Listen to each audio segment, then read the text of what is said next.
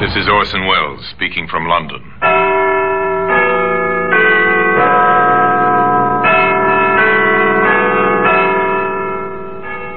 Here in the grim stone structure in the Thames, which houses Scotland Yard, is a warehouse of souvenirs. A warehouse where everyday objects, a hammer, a suitcase, a shirt button, all are touched by murder.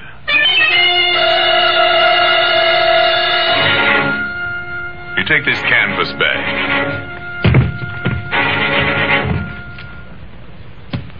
This canvas bag might give us a lead, sir. Uh, what's that writing on it, Sergeant?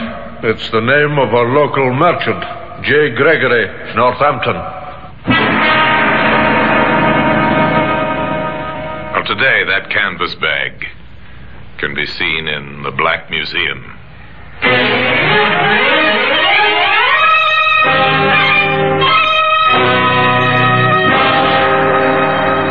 From the annals of the Criminal Investigation Department of the London Police, we bring you the dramatic stories of the crimes recorded by the objects in Scotland Yard's Gallery of Death, the Black Museum.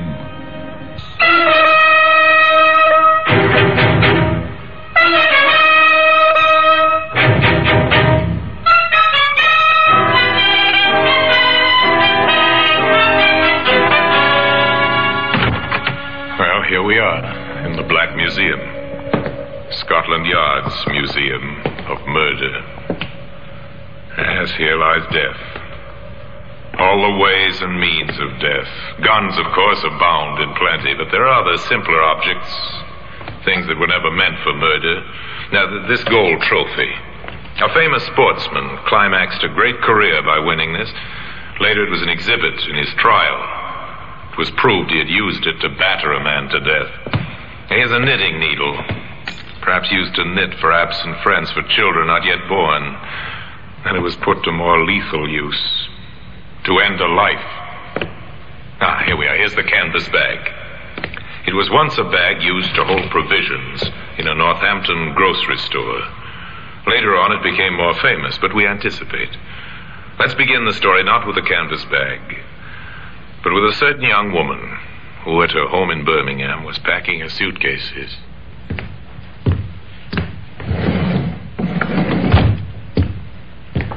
Here's another dress, Mary. Oh, thanks, Mother. And your slippers. Mm-hmm. Well, I, I think that must be all. Let's just have another look round. You don't want to forget anything. No, that's right. Oh, here you are, just as well I looked. Some stockings. Oh. Well, I, I think that's all. Yes. I'll just lock my suitcase.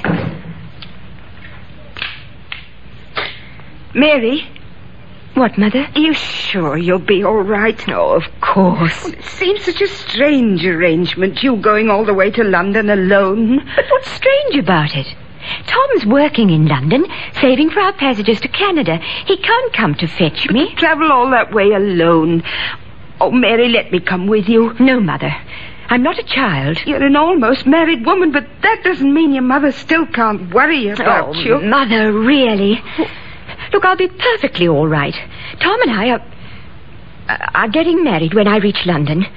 A month later, we'll be on our way to Canada. And we'll lose you. It's so sad. You'll write as soon as you reach London, won't you, darling? Yes, of course I will.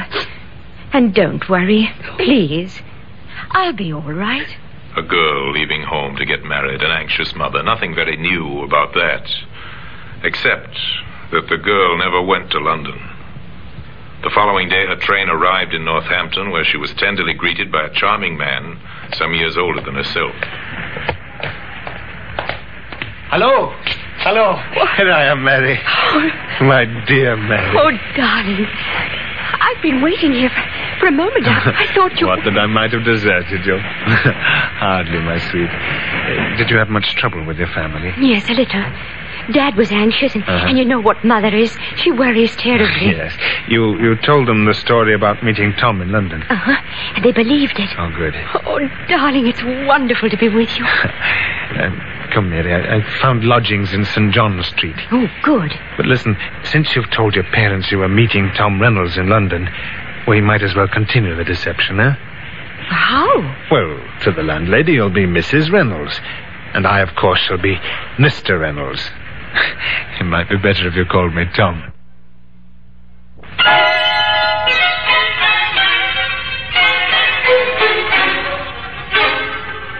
The landlady found Mr. and Mrs. Reynolds a charming couple, so devoted, so very much in love. Good afternoon. That's it. I'm Mr. Reynolds. I wrote to you about a room. Oh, yes, Mr. Reynolds. I was expecting you today, just like you said in the letter. and this is my wife, Mary. uh, pleased to meet you, Mrs. Reynolds. I expect you'd like to see the room right away. Yes, I, I would. Well, if you'll just follow me, there's only one flight of stairs. Let me carry the bag, dear. It, it's too heavy for you. All right. Have you uh, any idea how long you'll be staying, Mr. Reynolds? Well, I can't tell you at the moment. It, it depends on circumstances, doesn't it, sweetheart? Ah. Yes, dear.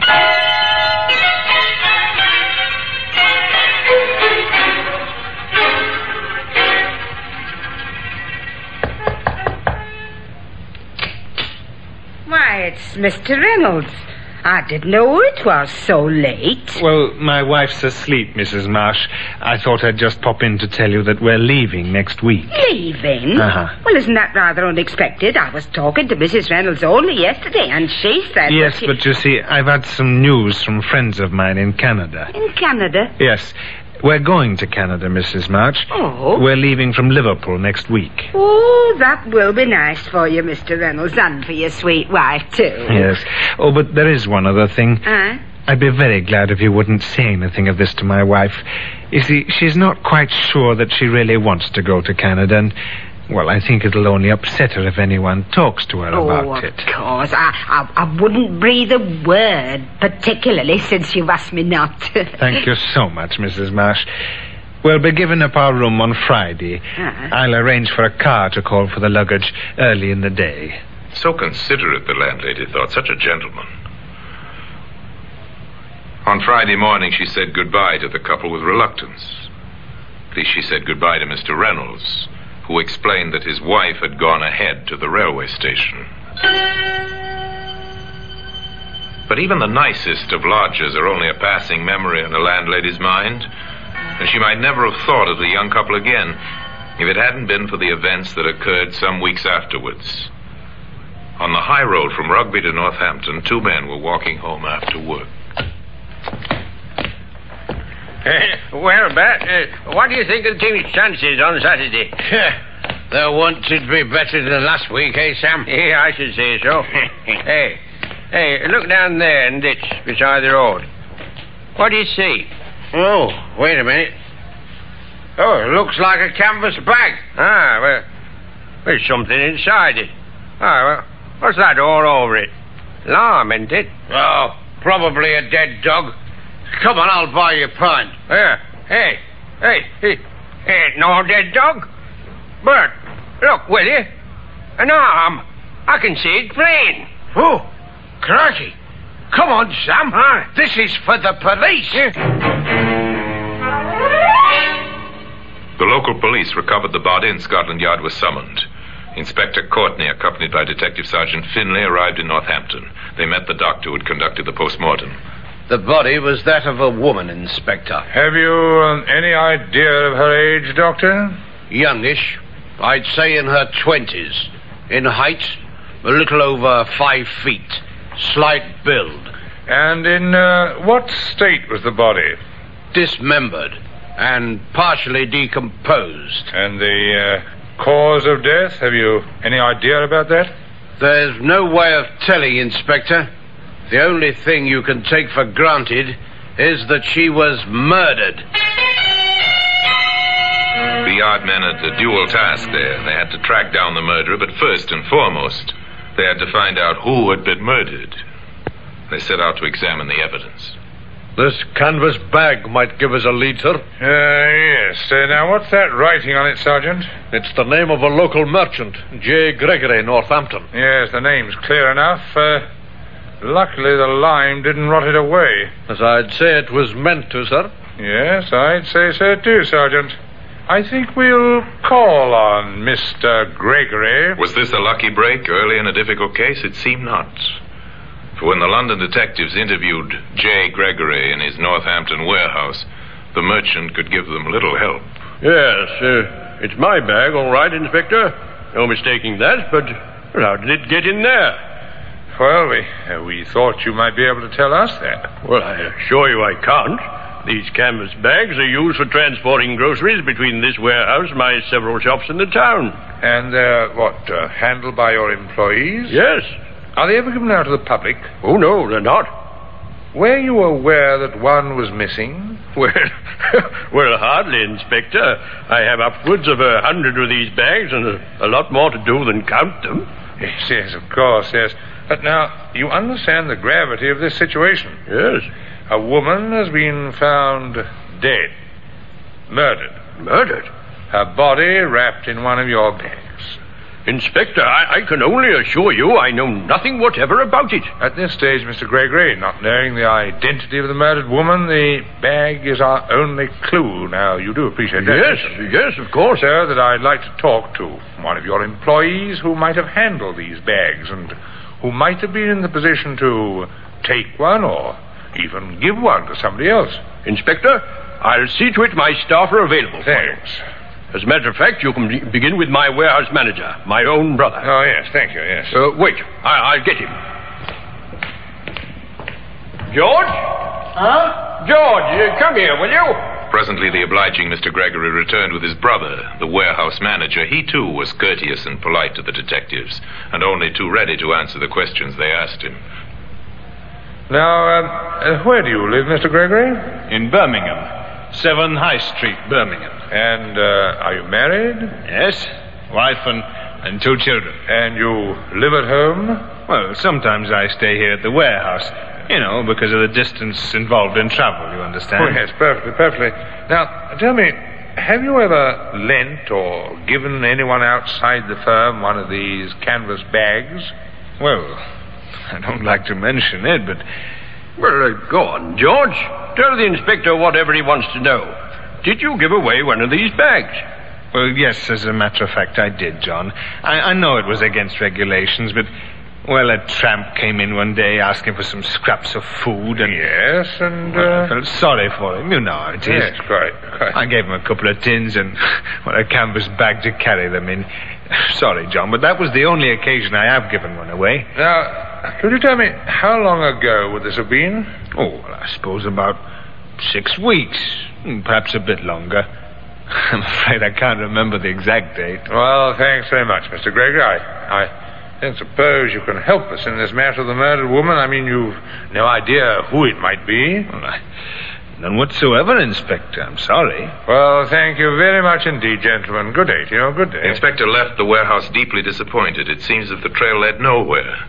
For the inspector believed this story of the tramp that George Gregory had told him. There's no reason why he should not have believed it. But today, evidence that proved the lie can be seen in the Black Museum. Orson Welles will be back with you in just a moment.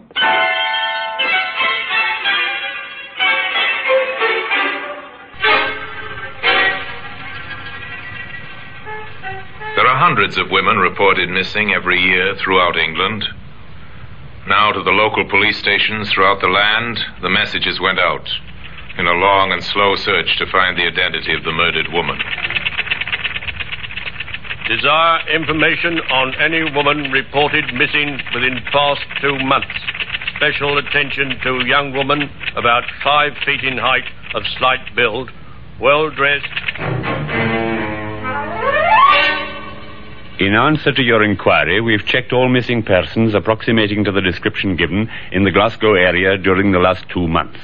There are three missing persons whose descriptions might fit the one given, and further investigation is being made in each case. I shall report further within the next seven days.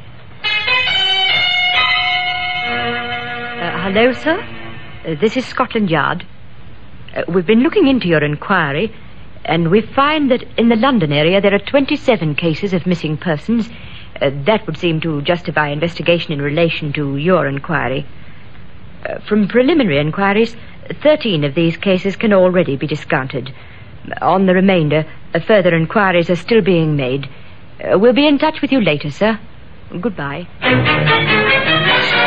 The reports came flooding into Scotland Yard. The leads faithfully followed. Dead ends, all of them.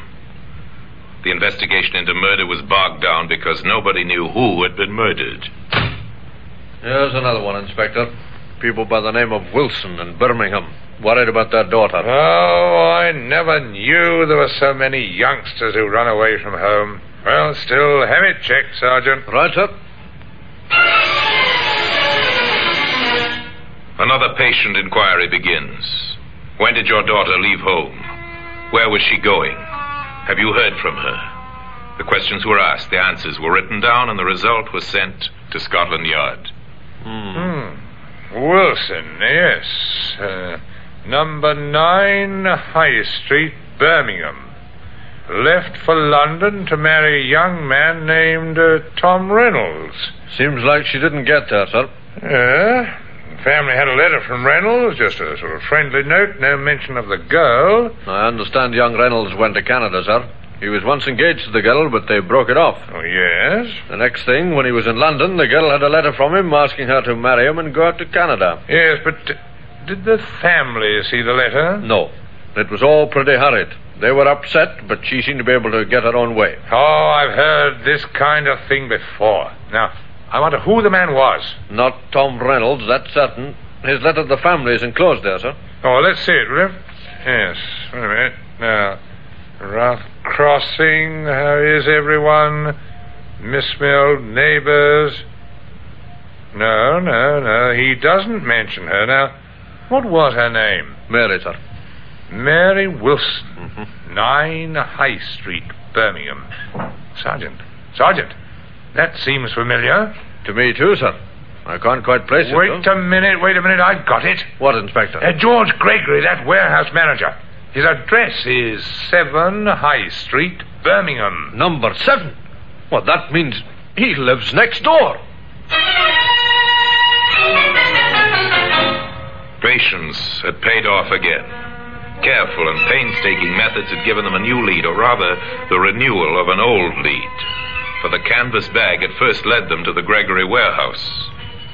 The detectives went back to Northampton, back to interview George Gregory. Mary Wilson, Inspector?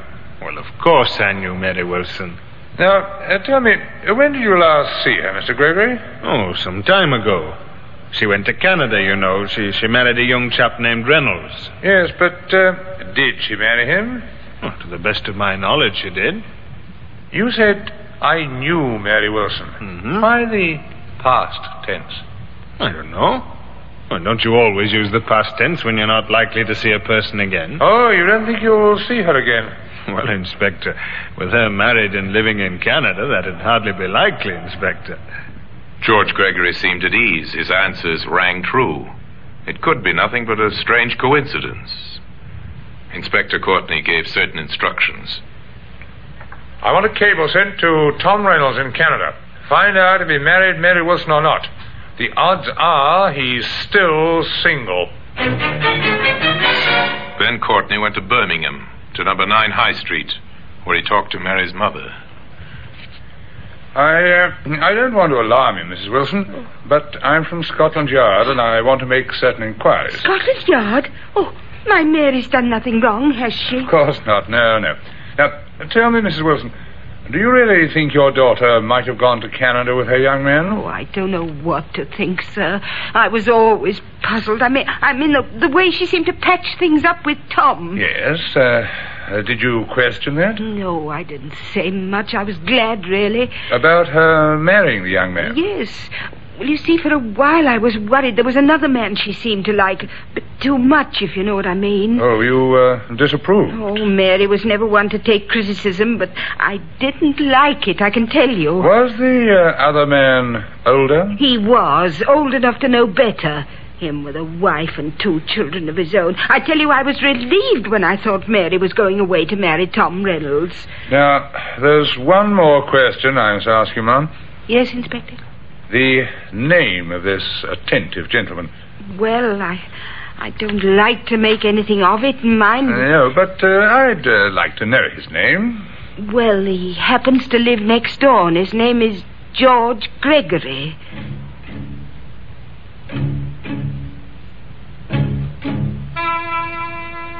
We've had a reply to your Canada cable, sir. Okay, Sergeant, go ahead and read it. Tom Reynolds is living in Ottawa. He's a bachelor. Last time he saw Mary Wilson was in Birmingham three months ago. What about his letter from London? There was no letter from London.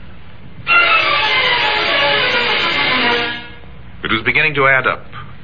Point by point, link by link, a chain of circumstantial evidence was being forged. Forged by the patient police.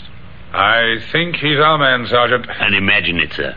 He's been here under our noses since the very first clue you picked up. Yes, the canvas bag led us right to him, but we haven't tied it up yet. What's the next move, sir? Mary Wilson left for London to meet Reynolds. Or so it seems she told her parents. Yes, it seems more than likely, sir, that they came here. So they must have lived somewhere, she and the man she met.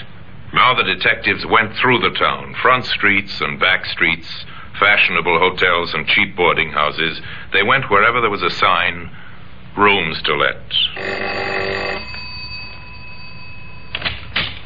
Well, We're from Scotland Yard, ma'am. We're inquiring about a young couple who might have stayed here some, oh, six weeks to two months ago. no, not here. Only take regulars. Had all my boarders for the past 12 months. Thank you, ma'am. Sorry to have troubled you. They ran the whole gamut of landladies. The suspicious landladies, the mean, the garrulous landladies, the kind, the generous, the curious. Then in a lodging house in St. John's Street, their work paid off. A young couple? Yes, I've had a few. What was their name? We're not sure what name they might have been using. Oh, you mean Crooks? Well, let me see. Oh, it, it couldn't have been that nice young couple, Mr. and Mrs. Reynolds. Now, it What was could- that name? Reynolds. Uh, Tom Reynolds? Yes, I believe it was. Such a nice man. Oh, and his young wife was named Mary. She was awfully sweet. Mrs. Marsh, can you give me a description of Mary Reynolds? Why, yes, I think so. Short, uh, about five feet tall, brown hair, rather pretty. Yes. Not much help, I'm afraid. I can't remember any other details. Oh, you helped a lot, thanks. And the man? Tall, dark hair, and a small mole on his left cheek, older than her. Uh-huh. Oh, but he was very nice indeed. Oh, surely they couldn't have done anything wrong. Uh, uh, Mrs. Marsh, uh, can you, I want to attend the police station tomorrow morning at 10? Me? Why, sir? Uh, well, we'll be having an identification parade at 10 sharp.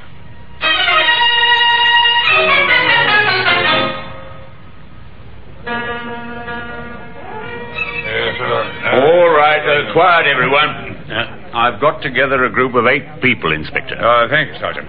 Uh, Mrs. Marsh, I want you to try and identify the man you knew as Tom Reynolds. All right, Inspector, but really, I know we and his wife went to Canada. Nevertheless, if you don't mind, just walk slowly down the line and examine each man.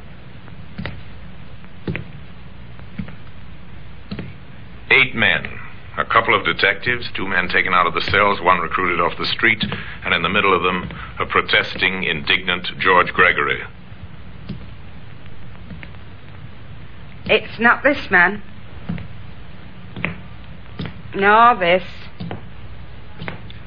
No, not him either. Why, Mr. Reynolds. Gregory, grab him, man! I got it, I got it. Policemen present to overpower the hastily departing Mr. Gregory, who was immediately arrested on a charge of having murdered Mary Wilson. Today, the evidence that brought about his downfall, the canvas bag that first directed police attention to him, occupies a place of honor in the Black Museum. George Gregory killed the woman, he said, because she was too much in love with him to let him go, but he couldn't afford the scandal that might arise if he continued his association with her. Not a very nice reason, but then, the reason for murder seldom are. Anyway, George Gregory was tried and convicted and paid for his crime one morning at 8 o'clock. And now, until we meet next time in this same place for another story about the Black Museum, I remain as always obediently yours.